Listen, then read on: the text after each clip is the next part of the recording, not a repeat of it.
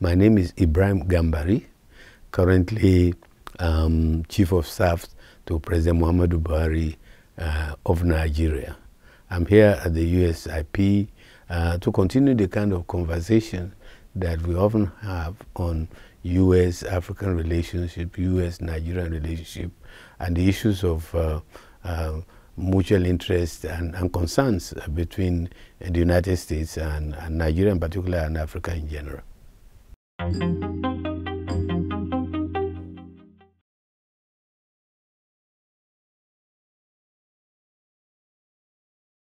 Well, first he has uh, instructed uh, all the security agencies in uh, the country to ensure that they provide um, a, a, climate conducive to the exercise of the right of people to vote, whoever it is that they want to be elected. And he has shown this uh, when in Anambra, which is one of the in the southeastern states of Nigeria, where there's been a lot of violence, uh, he, he made sure that that happened. Uh, and the security forces, they are quite large, about 35,000. Um, he was told them you, you, are not to intimidate voters, but to create a climate conducive for them to exercise their right to vote. He intends to do the same in the general election, which is to make sure that there's enough security for people to um, uh, exercise their right to vote. Uh, but it's also counting on civil society organizations, elders uh, in the country and the political party leaders and candidates uh, to also be responsible and, and talk to their supporters, particularly the candidates and the leaders, to say that what is important is free and fair process and to accept the results, uh, whatever they may be, and if they have issues with the result, to go to the court, as he did, because he was ran for president 2003, 2007, 2011, uh, and lost, went to the Supreme Court, and it's only the fourth attempt before he was elected in 2015 and re-elected in 2019. So leadership by example in, in the kind of outcome that he's recommending for Nigeria.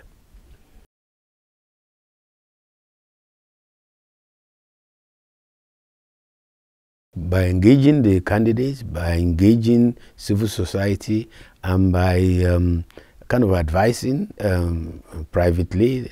Uh, this is uh, election by Nigerians for Nigerians, but the outcome, one way or the other, has impact not only in Nigeria, in West Africa, in Africa, and even globally. And also, if need be, uh, to issue at an appropriate time some statement of support for a, uh, for a peaceful process. And I think in some cases, some of the um, Western countries have also uh, issued uh, um, threats that whoever it is that consciously obstructs the free exercise of votes uh, by Nigerians uh, will have um, visa. Uh, not they will not find it easy to get visa to come to this country. So. Um, um, carrot sticks, but but always conscious of lining behind uh, um, uh, those in Nigeria uh, who are counseling the same.